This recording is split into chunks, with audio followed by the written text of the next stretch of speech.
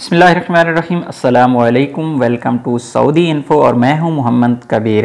Social media پر ایک خبر گردش کر رہی ہے اور یہ خبر منسٹری آف لیبر کی طرف سے شائع ہوئی ہے، جس میں بتایا گیا ہے کہ حکومت نے تین ہزار یا اس سے زیادہ اماؤنٹ پر دس پرسنٹ ٹیکس لگا دیا ہے، جو کہ چند ماہ بعد نافذ العمل ہوگا۔ آج ہم اس خبر کی حقیقت پر بات کریں گے کہ اس کی حقیقت کیا ہے۔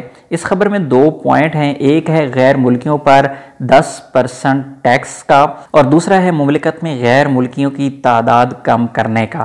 کہ اس ٹیکس کے ذریعے غیر ملکیوں کی حوصلہ شکنی کی جائے گی تاکہ وہ جلد سے جلد مملکت چھوڑ دیں اور حکومت مزید ساٹھ شعبوں میں سعودائزیشن کرنے جا رہی ہے۔ آج یہ دونوں پوائنٹ ہم ڈسکس کریں گے اور بات کریں گے کہ حقیقت کیا ہے۔ سب سے پہلے یہ تو میں آپ کو بات بتا دوں کہ یہاں پر کوئی کنفرمیشن نہیں ہے۔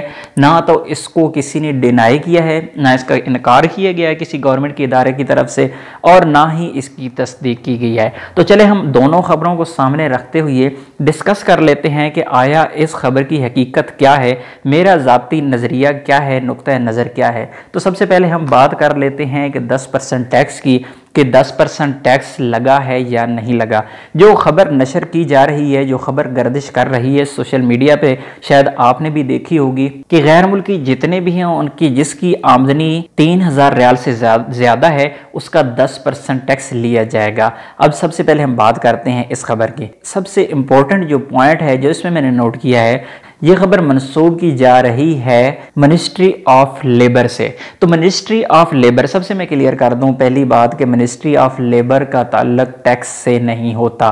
منسٹری آف لیبر کبھی بھی ٹیکس نہیں لگاتی جب بھی ٹیکس لگانا ہے گورنمنٹ کا ادارہ سامہ ہے، جو کہ ٹیکسیشن کے عمل کے ساتھ منسلک ہے۔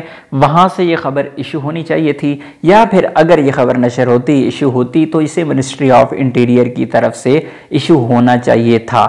دوسری بات، اگر یہ، اگر ہم کہتے ہیں کہ اس پر زکوٰۃ ہے، تو زکوٰۃ یہ وزارت زکوٰۃ کی طرف سے اس کو اوشی ہونا چاہیے تھا، کیونکہ منسٹری آف لیبر کے ساتھ بھی اس کا کوئی لنک نہیں جوڑتا تو بظاہر اس خبر سے لگتا ہے کہ یہ خبر جھوٹ ہے، اس خبر کی حقیقت سے کوئی تعلق نہیں ہے۔ اب آتے ہیں دوسرے پوائنٹ کی طرف، جس میں یہ کہا گیا ہے کہ نیا رول جو دوسرا بنایا گیا ہے وہ ہے غیر ملکیوں کو کام کرنا ہے اور کام کیسے کرنا ہے، ان سے ٹیکس لے کے۔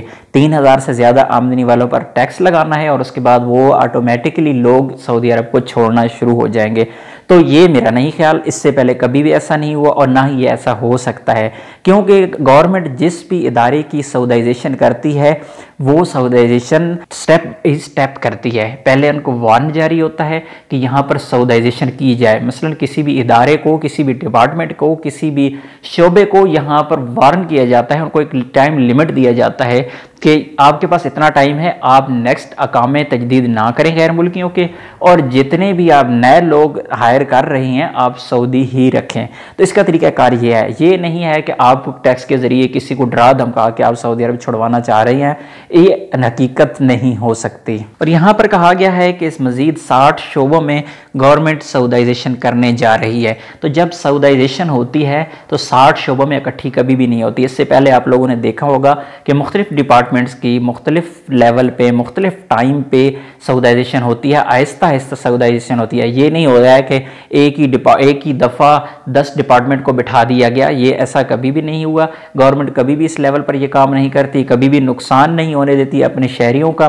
اور کبھی بھی گورنمنٹ یہ نہیں چاہتی کہ ایک ہی دفعہ دھچکا لگ جائے، اتنا بڑا یہ نہیں ہوتا۔ نہ تو وہ غیر ملکیوں کو اتنا بڑا دھچکا دیتے ہیں اور نہ ہی وہ اپنی عوام کو۔ اور گورنمنٹ اپنے آپ پہ یہ دھچکا برداشت کرتی ہے۔ تو آہستہ آہستہ ہاں یہ ضرور ہو سکتا ہے کہ مزید ساٹھ شعبے میں حکومت سعودائزیشن کرنے جا رہی ہو، لیکن اس کے لیے ایک ٹائم لیمٹ ہوگا، وقت ہوگا اور سٹیپ بائی سٹیپ ہوگا۔ ایک ہی بار ساٹھ شعبے میں سعودائزیشن نہیں ہو سکتی۔ تو امید ہے یہ پوائنٹس آپ کو کلیئر ہو گئے ہوں گے۔ اگر آپ نے وہ خبر پڑھی ہے اور آپ کنفیوژن کا شکار تھے، آپ کو سمجھ نہیں آ رہی تھی یہ کیا ہے، لیکن میرا یہ ماننا ہے کہ وہ خبر حقیقت نہیں ہو سکتی۔ اگر حقیقت ہوتی تو یہ ایک سرکاری لیول پر یہ چل جاتی، اس کی ٹیلی ویژن پر خبر چل جاتی اور جتنے بھی سعودی عرب کے لوکل اخبار اخبار آتے ہیں، کم از کم وہ اس خبر کو شاید ضرور کرتے۔ لیکن اس طرح کا کوئی بھی ثبوت میرے سامنے نہیں آیا کہ کسی نے یہ خبر نشر کی ہو۔ یہ جھوٹ پر مبنی خبر لگتی ہے۔ آپ کی اس ویڈیو کے بارے میں کیا رہا ہے اور آپ کی اس خبر کے بارے میں کیا رہا ہے؟ کومنٹ میں ضرور آگاہ کیجیے گا۔ اور اگر آپ کے پاس کوئی اتھینٹک خبر ہے تو آپ ضرور شیئر کیجیے گا۔ امید ہے آج کی ویڈیو آپ کے لیے ہیلپ فل ہوگی۔ ویڈیو اچھی لگی ہے تو ویڈیو کو لائک اور شیئر ضرور کیجیے گا۔ اور اگر آپ میرے چینل سعودی انفو پر نئے ہیں تو میرے چینل کو سبسکرائب کیجیے گا، کیونکہ اسی طرح کی معلومات اور اسی طرح کی خبریں آپ کے ساتھ میں شیئر کرتا رہتا ہوں۔ ملتے ہیں اگلی ویڈیو میں، تب تک کے لیے اجازت دیجیے۔ اللہ حافظ۔